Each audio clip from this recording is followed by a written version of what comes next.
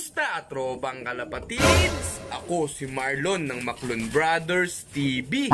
For today's video, mga tropang kalapatids, tuturuan na natin yung mga future South Warriors natin. Yung 17 na young birds, tuturuan na natin yan mga kalapatids. Kaya kung gusto yan makita at malaman kung paano natin tuturuan yung napakadaming ibon na yan, please keep on watching.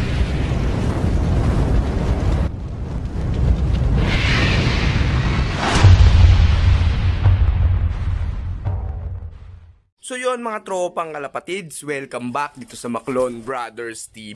Ayan, ang dami nating mga young birds, mga tropa. So ang gagawin natin for today's video, eh tuturuan na nga natin tong mga young birds natin dahil saktuhan lang yung mga edad nila para magturo na nga tayo ng mga young birds.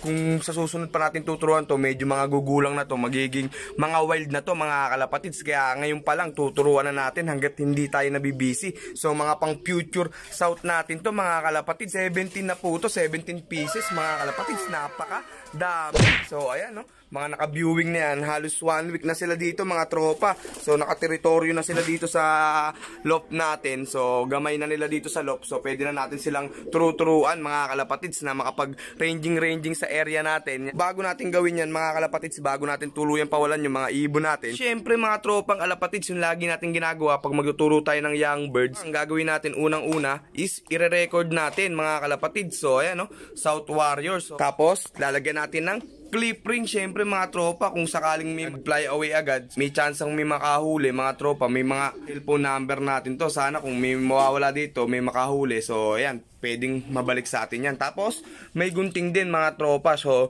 magugupit tayo ng 1 inch sa magkabilang dulo ng mga pakpak nila para hindi sila agad ganun kalakas lumipad mga tropang kalapatids. So, asikasuhin ko muna dito mga tropang kalapatids. Babalitaan ko kayo mamaya. Time check tayo. Alas 3 na ng hapon. So, pwede na tayong magpakawala ng mga young birds natin. So, mga ganitong oras talaga ako nagpapakawala ng mga young birds natin para medyo may kainitan tapos walang ganong rumuronda ng mga ibon sa paligid natin para solong-solo nila dito mga tropang kalapatid. So, yun yung isang technique na ginagawa natin dito. So, kanina nag-record muna tayo. Naglagay tayo ng clip ring at naggupit na nga tayo ng mga dulo ng pakpak ng mga ibon natin dito para hindi agad magpitikan mga tropa. So, yan, napansin nyo, may mga clip ring na akong nailagay dyan sa mga ibon natin. So, may contact number natin yan, mga tropang kalapatids. So, kulay green yung mga clip ring. Tapos, yung itim na clip ring dyan, yun yung mga young bird natin for south ng BFRC. Combine sa Javier, yung iba dyan. Yung dalawa, mga tropa, tapos dalawang regular na young bird lang. So, parang di ako malito. So, yung mga green, yan yung mga all bird natin. So, ayan, nagpipiti ka na. Gustong gusto ng magsi.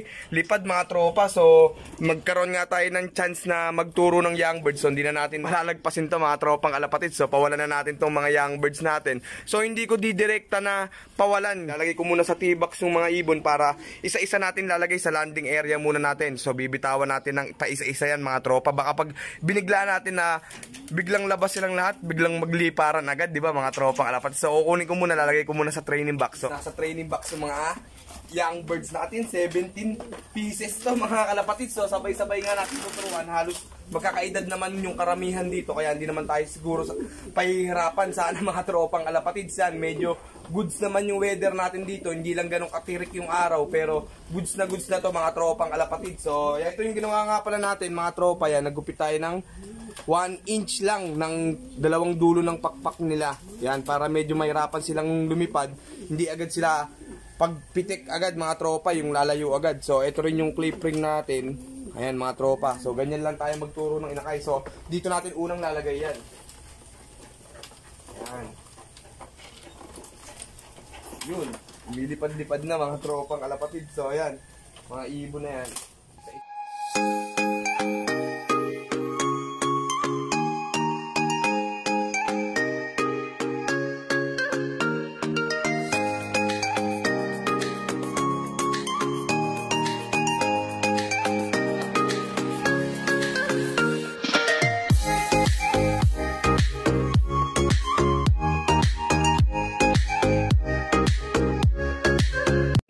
Tropang kalapatids. Ayan na yung mga young birds natin. To, dumapo agad yung tatlo dito mga kalapatids yan. Nagsusunuran na yung ibang young birds. So, yung iba pumasok na, nakalimutan ko isarado. Yung trapdoor muna natin, mga tropang kalapatids. So, kukunin ko ulit, palalabasin ko muna. Ayan, yung iba, ayan, okay lang din mga tropa. At least alam nila kung saan sila papasok mamaya. So, isang magandang, ano rin na, hindi ko agad nasara mga tropa. So, ibabalik ko yan sa labas. So, yung itong iba yan, nakaka-viewing na dito sa taas natin, dito sa bubong. So, sana mga tropang kalapatids, wala munang sumibat tropa, ang dami nito. Sana sa unang pagpakawala natin eh goods yung mangyari. So 17 young birds to. Sana lahat ng 17 young birds na to eh mamaya pumasok sa lock natin mga tropang kalapatid. So yan, hindi masyadong tirik yung araw dito, alas 3 pa lang sa atin. Ayan no pagaspas na sila ng pagaspas mga tropa yan first time lang to first time lang nilang nakawala sa lock natin mga kalapatids nasarado nga muna natin tong uh, sa trapdoor natin para hindi agad sila pumasok mga tropa para hayaan muna natin sila maka viewing viewing iba gusto nang pumasok. Maya maya papasukin naman natin sila agad mga tropang kalapatids so ang gagawin natin is pag magpapatuka tayo mama ayan medyo mga naglilipar-liparan na to mga tropa. Ayan. So, dyan dyan muna kayo. So, yung isa makulit, mga tropa. Kanina ko pa nakikitang palipat-lipat ng bubong. So, sana hanggang dyan dyan muna sila. Makaranging lang sila. Matanaw lang nila yung taas, mga tropa. Para in case sa susunod na paglipad nila, alam nila yung babalikan nila o alam nila yung uh, location natin, mga tropa. Mahirap kasi yung biglang pitik agad. Wala man lang viewing sa bubong. So, hindi naman natin tulad yung ibang mga big time lock o ibang mga pansier na nakaangat yung lock nila para nakaka-viewing na agad yung mga ibon. So, sa atin. So may bubong pa bago maka-viewing yung ibong kaya dapat nasa bubungan muna yung mga young birds natin bago sila tuluyang pumitik. So diyan nakaka-viewing na sila. So ayan nakita naman natin yan kumpul-kumpul sila diyan mga tropa. So sana wala munang pumitik mga tropang kalapatid. Ang dami nito. 17 na young bird nga to mga kalapatid. So sana lahat yan maturuan natin at maging future South Warriors nga natin mga tropang kalapatid. Ito yung mga young bird natin. Medyo ayan nagsusungit ang panahon natin dito, mga tropang alapatids yan naman kasi talaga naman sa panahon ngayon, tag-ulan na talaga pag tuwing hapon, talagang dito sa location namin, madalas na umuulan mga tropang kalapatids. Pero ayan, andyan pa rin yung mga warriors natin. So ngayon lang kasi tayo nagkaroon ng uh, pagkakataon na makapagturo ng young birds. So hindi na natin pinalagpas mga kalapatids kasi susunod, busy na naman, hindi na naman makakawala yung mga ibon na to. Gugulang na naman. So ang tendency niyan mga tropa, mag-wild na yan pag pinakawalan natin. So ngayon, Okay lang yan mga tropa pero may pasikat na araw dun sa gilid dun. Pero lamang yung sobrang dilim mga tropa medyo kanina medyo naambon na nga ng bahagya. Pero yan tuloy lang yan mga tropang alapatid sula pa naman pumipitik sa mga ibon natin mga tropang alapatid so bubuksan ko na rin yung trap maya maya One eternity later Nandiyan pa rin yung mga young birds natin no? wala pa rin nakakapasok ni isa sa kanila mga kalapatid so ayan medyo nagkakapaan pa yung mga young birds natin dito mga tropa. So, sipol na tayo na sipol. Naglatag na rin tayo ng patuka. Yan, nakapagpatuka na nga tayo dito sa likod natin, sa kasaharap. So, wala pa rin pumapasok mga tropa. So, ito mga tropang kalapatids, meron ng dalawa dito sa landing area natin. Yung isa, ako mang papasok na mga tropa. Ayan, naghahanap ng lagusan tong isa na black chick na to mga tropang kalapatids. Yung iba natin mga kulit, ayun, nagliliparan pa. Ayan, alas 5 mahigit na. Sobrang dilim na dito sa atin mga kalapatids. So, ayan, nagbababa na sa landing area natin mga tropang kalapatids yan. Sana makapasok na sila. So, ayun yung dalawa, mga tropa, nagsisiksikan dun. Ayan, ayan, makapasok lang yung isa dito, mga tropa yan, makapasok na itong mga to. Blue bar, sarap sundutin ng piyon. One down, mga tropa. Ayun, two down, mga kalapatids. Two down. So, ayan, nakapasok na yung dalawa natin. So, yung isang young bird natin na yun, saka itong isang black check. So, di sila dito rumekta. So, bubugawin natin dito, mga tropa pasok pasok yan so nakapagpa ano na tayo dito. Clock na yung dalawa mga tropa. Yan, medyo yan, natutuwa to ako sa nangyayari dito mga tropa. So yan natatakot lang buwaba dahil medyo malalim nga mataas yung landing area natin. Try ko lang lapitan.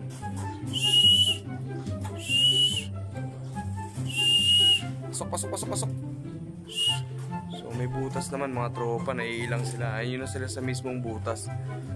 Ayun na sila sa mismong butas. So tatry ko silang bulabugin dito.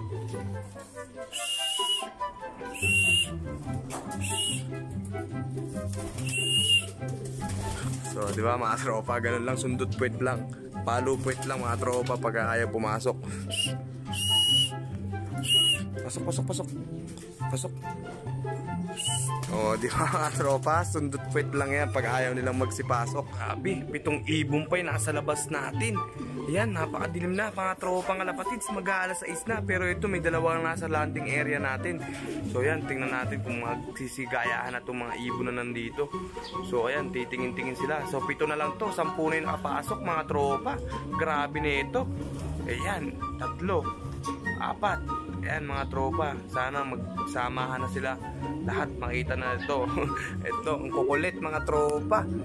Ayan, gabi na mga tropa, alas 6 na. Grabe, awit sa mga ibon na to. Ngawit mga tropa.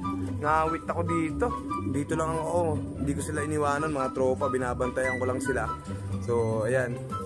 So, mukhang papasukan naman na itong mga ibon na to. Yan, nakatungtong na sila sa landing area mga tropa. Diba? Parang magnet yan mga tropa. Dikit-dikit na yan pagka may isang nakatagpos. Ayan na, may isang pumasok mga tropa. So, itong kanino pa to? Ito, yung ibon galing to kay mapagmahalop eh, ng malolo. So, ayan, ang kulit. Mana sa may-ari ito mga tropa. Siya na lang yung wala sa landing area natin. Pasok, pasok, pasok, pasok. Tingnan natin ngayon, sundot puwet to mga tropang alapatids. Sundot puwet. So, pumasok yung dalawa, sabay, mga tropa. Yun, pumasok pa isa. So, titignan. Eh, naku nabugaw pa isa. Yun. So, nakapasok na yung mga youngster natin. Yung iba, dalawa na lang, last two na lang mga tropa. So, ito, hindi lang makatagpos to. Yun, isa, one down, yung Javier natin. So, mukhang papasok na. Ayan. Ayan natin. Awit dito kay mapagmahal, oh. Ayan, oh. Pasok, pasok, pasok, pasok. Yan, nakatagpos din mga tropa. Yan. Pasok, pasok. Hmm. Yun, kumpleto tayo. 17 young birds, mga tropa. Kumpleto. Still alive, mga kalapatids. So, yan. Tignan natin kung pa sila. Awit sa kanila, tatagal pumasok. Ayan. So, ayan, maganda naman yung unang pagpapakawala natin mga tropang kalapatids. Wala na naman pumitik agad. So, tuloy-tuloy na yung gagawin natin na to. So, palili, ah, pawawalan natin yan hanggat di tayo nabibisi yan mga tropa mga kapatid. So ayan dito ko natatapusin tong video na to mga tropa. Awit sa kanila napakatagal pumasok. Mga awit nangyari mga tropa. So dito ko natatapusin tong video na to. Ah, kung nagustuhan nyo yan mga tropang kalapatids thumbs up naman dyan. Kung ikaw nanonood ka at hindi ka pa nakasubscribe subscribe ka na. And ring mo na rin yung bell para lagi ka updated sa mga latest videos natin